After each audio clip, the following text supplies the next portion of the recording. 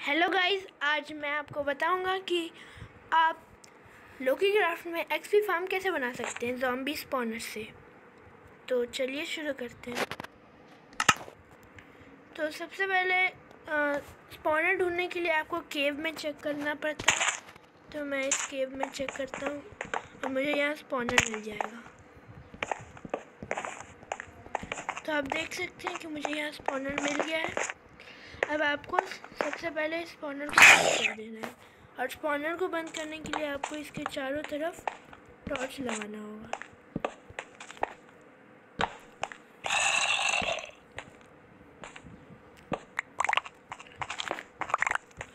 अब इस स्पॉनर के आपको एक, दो, तीन, चार ब्लॉक चारों तरफ़ से आपको डिग कर लेना है।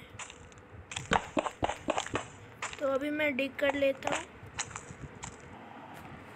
तो गाइस अब आप देख सकते हैं कि मैंने चारों तरफ़ से चार चार ब्लॉक डिग कर लिया है।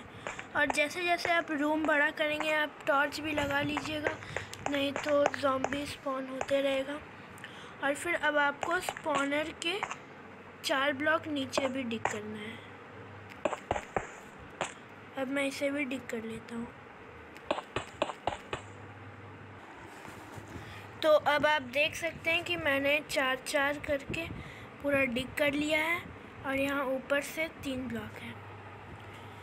अब मैं इसे तोड़ देता हूँ पहले। तो अब मैंने इसे हटा दिया है। अब आपको कॉर्नर में पानी, एक बकेट मतलब सब जगह पानी बिछा देना है। अब आपको यहाँ पर जहाँ पानी नहीं है, एक एक ब्लॉक हटा लेना है।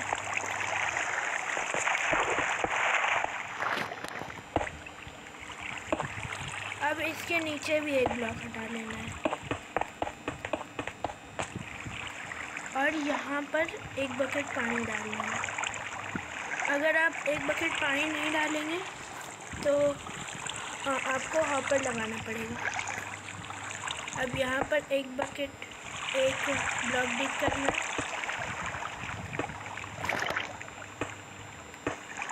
और अब आपको यहाँ पर चेक करना होगा।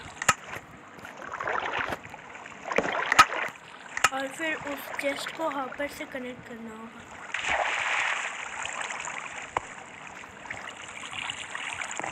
अब आपको इधर डिक करना है दो दो ब्लॉक